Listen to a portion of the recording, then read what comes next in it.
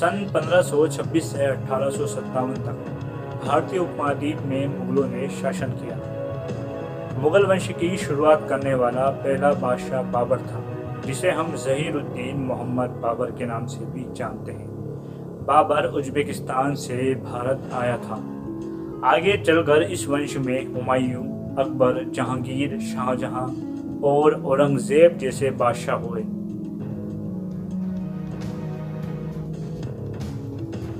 Video کو آخری تک ضرور دیکھنا۔ آپ مغلوں کے بارے میں سات ایسی باتیں جانو گے جو واقعی آپ کو حیران کر دے گی۔ آپ دیکھ رہے ہیں مائنورٹی نیوز اور میں ہوں عمران۔ تو چلیے شروع کرتے ہیں۔ نمبر ون، مغل کال میں اپرادھیوں کو مرتیو دنڈ دینے کا جو طریقہ تھا وہ بہت ہی بھیانک تھا۔ اگر کسی کو موت کی سزا سنائی جاتی تو اسے زمین پر لیٹا دیا جاتا اور ہاتھی اپنے پیروں سے اس کا سینہ توڑ دیتا یا اس کا سر کچل دیتا۔ نمبر ٹو کوہینور کے بارے میں آپ سبھی جانتے ہیں۔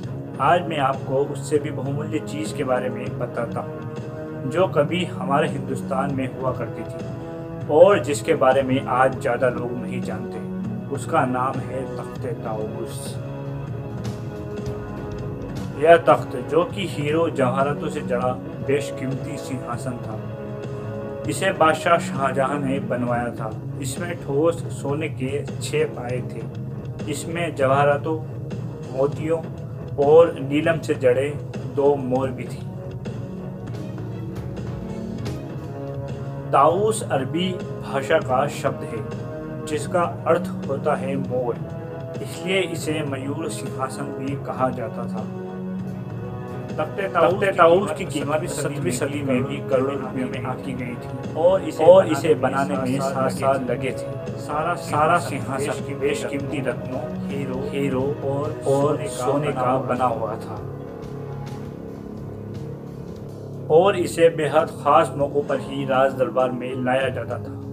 تخت تاؤس پہلے آگرہ کے قلعے میں تھا، لیکن بعد میں اسے دلی کے لال قلعے میں لایا گیا۔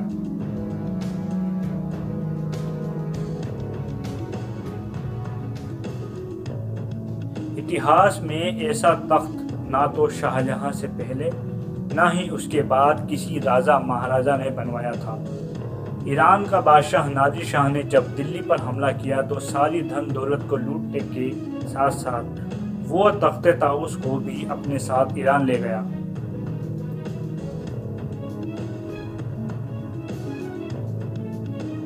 سن سترہ سو سینتالیس میں نادری شاہ کی ہتیا ہو گئی اور اس کے بعد اچانک یہ سنہاسن غائب ہو گیا۔ تب سے لے کر آج تک اس کا کوئی عطا پتہ نہیں ہے کہ یہ آخر کہاں پر ہے۔ سمے سمے پر سرکاریں اس کا پتہ لگانے کی کوشش کرتی رہتی ہے دوستو، آپ کو کیا لگتا ہے؟ تخت تاؤس آج کہاں ہو سکتا ہے؟ کمنٹ کر کے بتائیے گا۔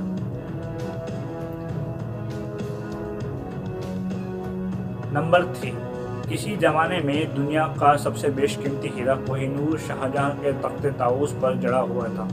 کوہ نور کے بارے میں یہ کہا جاتا تھا کہ جو اس ہیرے کا مالک ہے، وہ پوری دنیا کا مالک ہے۔ اس زمانے میں کوہینور کی قیمت اتنی تھی کہ اسے بیچ کر پوری دنیا کے لوگوں کو ڈھائی دنوں تک کھانا کھلایا جا سکتا تھا۔ سن سترہ سو انچالیس تک یہ ہیرا مغلوں کے پاس رہا۔ ایران کا بادشاہ نادر شاہ دھوکے سے مغل بادشاہ محمد شاہ سے پگڑی بدل کر وہی نور کو بھی چرا لے گیا۔ یہ ہیرا کہیں مغل بادشاہ ایرانی بادشاہ سے ہوتا ہوا انت میں انگریزوں کے ادھیکار میں چلا گیا اور آج بھی انہی کے پاس میں یہ کوہ نور ہی ہے نمبر فور، اکبر کی یہ سب سے بڑی کامیابی تھی، اس کے دوارا بسایا گیا سب سے بڑا شہر جسے ہم فتح پور سیکری کے نام سے بھی جانتے ہیں۔ اسے پہاڑی پر بسایا گیا تھا، جہاں پہلے کوئی بستی نہیں تھی۔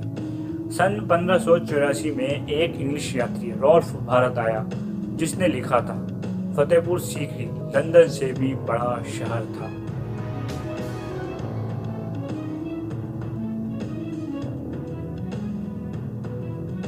اکبر ایک کامیاب بادشاہ ہونے کے ساتھ ساتھ کا پریمی بھی تھا۔ اس شہر کا نرمان اکبر نے اپنی نگرانی میں کروایا اور خود نے اس کا نقشہ بنوانے میں مدد کی۔ پہلے مغل سامراجی کی راجدھانی آگرہ ہوا کرتی تھی۔ فتح پور سیکری کو اکبر نے نئی راجدھانی بنایا۔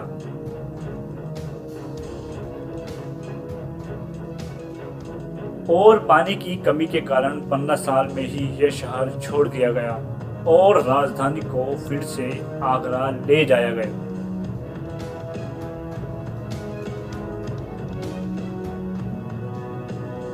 اتہاس میں پہلے ایسے کبھی نہیں ہوا تھا کہ ایک انسان کے سپنوں سے اتنا بڑا شہر بسایا گیا ہو اور اسے صرف پندرہ سال میں ہی ویران کر دیا گیا ہو۔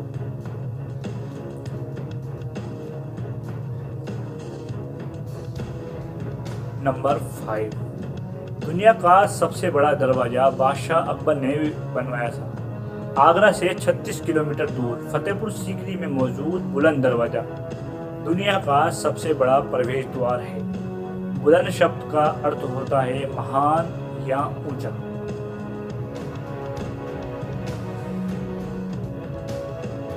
اس دروازے کو اکبر نے سولہ سو ایک عیسوی میں بنوایا تھا اور یہ قریب ایک سو ستتر فٹ اونچا ہے۔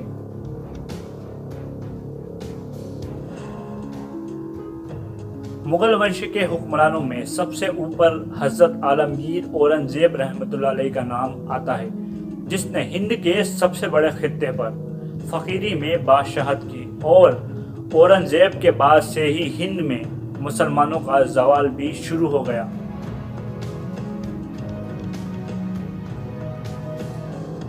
نمبر سیون، تین مارچ سترہ سو سات عیسوی کو اورنگزیب کی وفات ہوئی تھی۔ اور انہوں نے ہند پر لگ بھگ پچاس سال حکومت کی۔ اورنگزیب بر صغیر کے سب سے نیک بہادر نیائے پری بادشاہ تھے۔ اورنگزیب نے فقیری میں بادشاہت کی۔ اس ویڈیو کے لیے اتنا ہی۔ اگر آپ کو یہ ویڈیو پسند آئی ہو تو لائک اور شیئر ضرور کرنا۔